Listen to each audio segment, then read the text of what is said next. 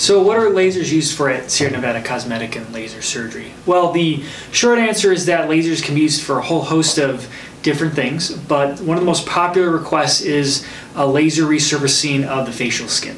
Uh, that means basically that we are removing the top layer of dead skin cells, we're stimulating the layers deeper under the skin to regenerate and grow healthy new skin.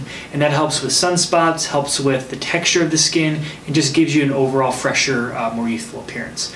That procedure is done with our carbon dioxide laser. It's a fractional CO2 laser.